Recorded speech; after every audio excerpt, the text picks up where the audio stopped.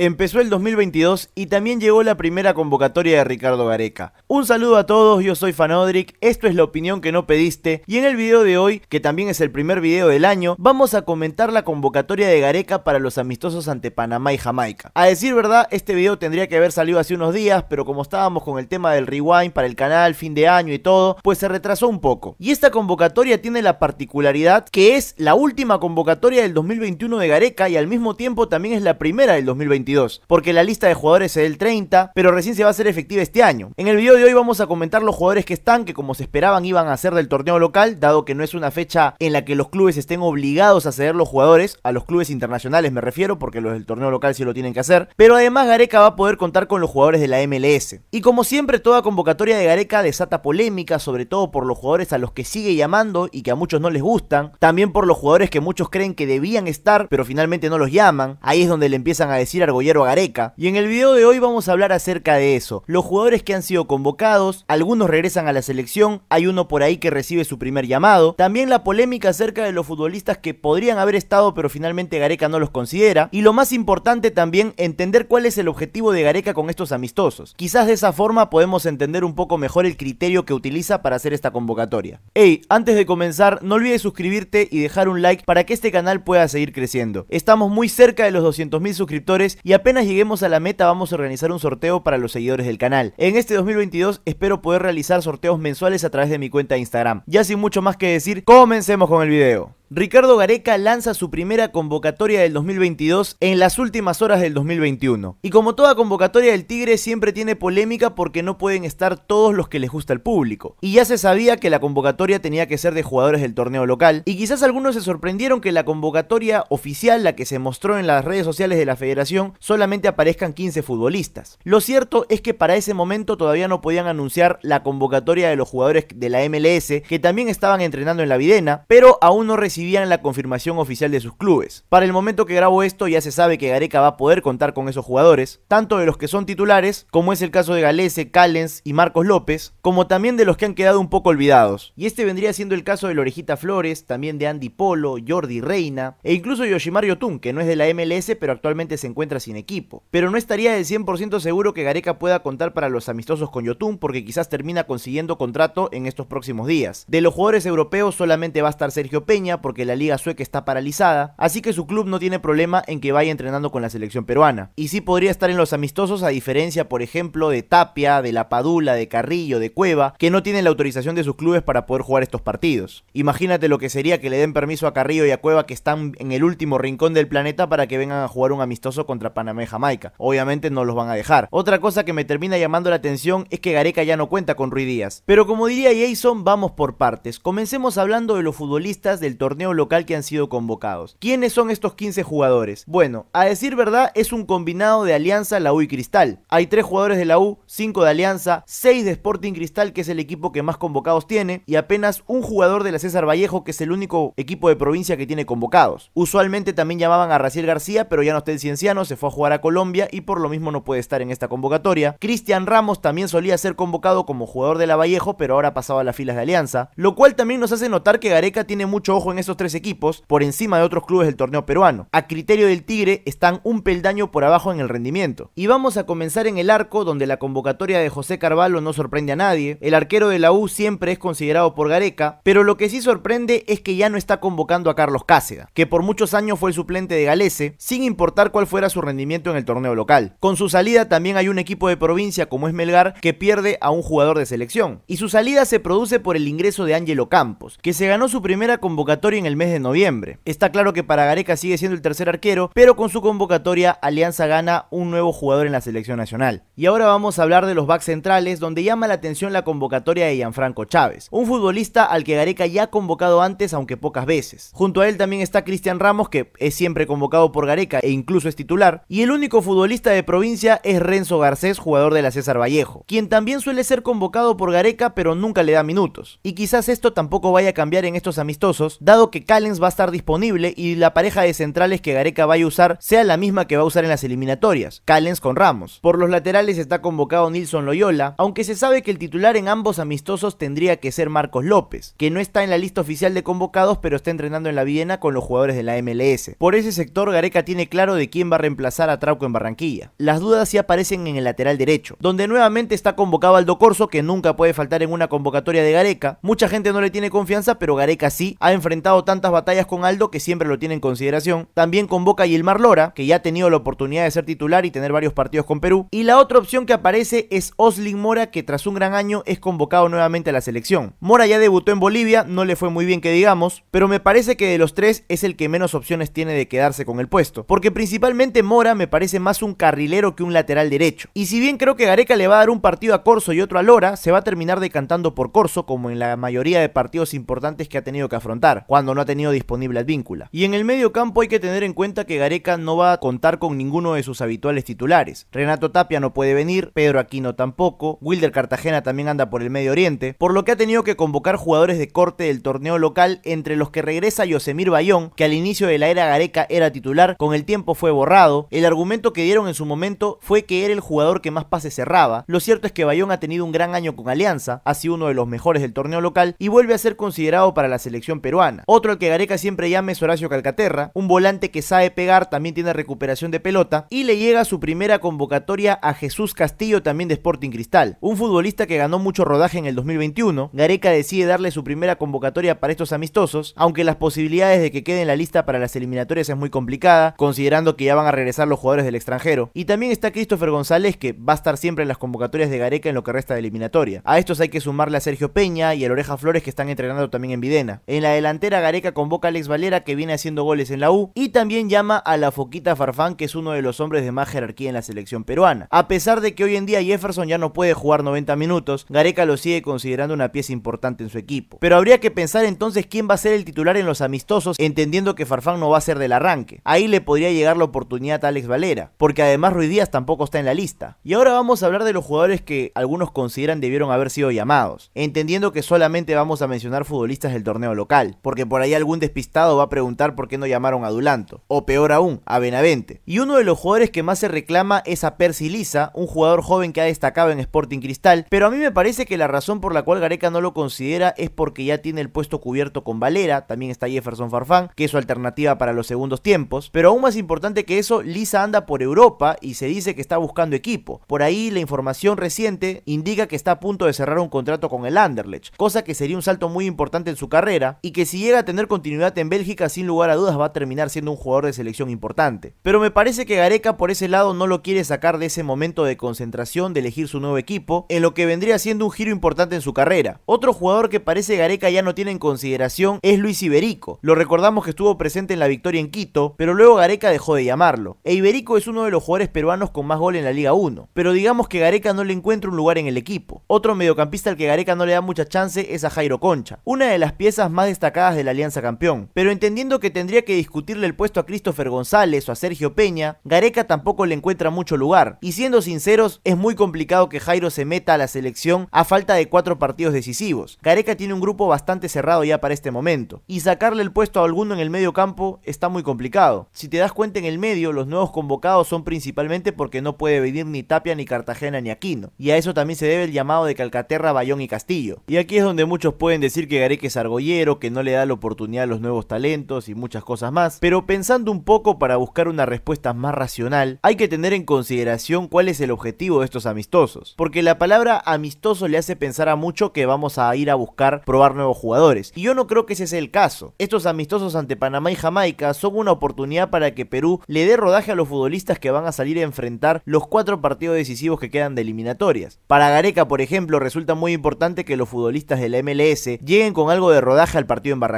Sobre todo Marcos López, que va a ser titular, también Alexander Callens, Pedro Galese. Por ahí ir viendo a la oreja Flores a ver si puede ser importante para el equipo nuevamente, definir si va a jugar con Corso de titular o con Lora, o por ahí puede destacar un poco Slim Mora, pero la lista final de los jugadores que van a salir a afrontar los partidos me parece que ya está hecha en la cabeza de Gareca. Sergio Peña es otro futbolista que estaría parado en Europa, dado que la liga sueca todavía no inicia. Bayón, Castillo, Calcaterra, alguno de ellos va a tener que arrancar de titular, pero también me queda claro que no se van a quedar porque luego va a regresar Tapia, Aquino, Cartagena. El mismo Yoshimar Yotun podría ser parte de estos amistosos. Entonces al final no hace mucho sentido que Gareca esté convocando futbolistas nuevos, porque pensar que va a apostar por ellos en Barranquilla pues no hace mucho sentido. Percy Lisa, por ejemplo, tendría delante de él a La Padula, Farfán, Valera, Jairo Concha la tendría incluso más complicada con Sergio Peña, Yotun, el mismo Canchita González. Gareca ya tiene el grupo cerrado para afrontar estos cuatro partidos. Y si bien al público, al hincha le gusta ver nuevos jugadores, de momento lo principal para Gareca viene siendo eso, la continuidad de los futbolistas que vienen parados tanto en Estados Unidos como en Europa, que bueno, el único caso es Sergio Peña, y además, ¿por qué no ir dando rodaje a los jugadores del torneo local, como la Sombra Ramos, el mismo Christopher González? En la cabeza del Tigre y de todos los jugadores de la selección peruana solo está Barranquilla. Y para este momento Gareca ya tiene más que definida cuál será su lista de soldados para afrontar las últimas cuatro finales. El que sí creo que va a tener una oportunidad de oro es Valera, que seguramente arranque de titular en ambos amistosos. Y si bien no ha tenido muchas oportunidades con la selección, se le recuerda por fallar algunas ocasiones muy claras. Si no me equivoco, una ante Brasil y la otra ante Venezuela. A un delantero nunca le viene mal meter goles, así sea un amistoso. Esperemos también que la Foquita pueda volver a encontrarse con el gol. ¿Hace cuánto que Jefferson no marca un gol con Perú? Y a pesar que está en los últimos capítulos de su carrera, al menos en el partido en Buenos Aires demostró que con una carrera, con una explosión, que no puede tener muchas en el partido es cierto, pero con alguna puede complicar a la defensa. Si lo pudo hacer con Argentina, lo puede hacer con cualquier otra selección de Sudamérica. Pero ya no es un futbolista para partidos largos, sino para momentos cruciales. Además hay que mencionar que también están entrenando Jordi Reina y Andy Polo, futbolistas a los que Gareca consideró, a Polo más que a Reina claramente, pero que quedaron fuera de la selección por mucho tiempo. El caso de Polo fue exactamente por una lesión muy grave. Quizás también tengan la oportunidad de reaparecer para estos amistosos. Pero principalmente me parece que Gareca va a buscar darle minutos a Loreja Flores, un jugador que fue vital en la eliminatoria para Rusia, pero que durante toda esta eliminatoria ha sido intrascendente. ¿Cuándo ha sido la última vez que Loreja Flores jugó un buen partido? Yo, por ejemplo, no me acuerdo. Ya sea por las lesiones o por su cambio a la MLS, lo cierto es que Lorejitas bajó bastante el nivel y su capacidad goleadora con la camiseta peruana se esfumó por completo. Ahí Perú perdió un jugador muy importante. Veamos si Gareca puede hacer algo para recuperarlo. No va a ser el Flores de la eliminatoria pasada, pero capaz puede recordar que en esa zurda tiene un remate de larga distancia que nos puede ser útil. Gareca necesita que el equipo caliente motores porque en el calor de Barranquilla y con Ecuador en Lima tiene que conseguir al menos una victoria, y son dos rivales muy jodidos. Veamos cuánto provecho puede sacar el Tigre estos amistosos. Y bueno, eso ha sido todo por el video de hoy. Muchas gracias por haberme acompañado hasta este momento. Ahora déjame saber en los comentarios qué jugador sientes tú que debió haber estado en este llamado a la selección o debería tener oportunidad de sumar minutos en los amistosos. Házmelo saber en los comentarios que te voy a estar leyendo. No olvides suscribirte si aún no lo has hecho porque en este canal hay contenido variado y aquí hay otros videos que te pueden gustar. Ya sin mucho más que decir, me despido, arrancamos este 2022 con todo y en este inicio del 2022 vamos a gritar bien fuerte, ¡Arriba Perú!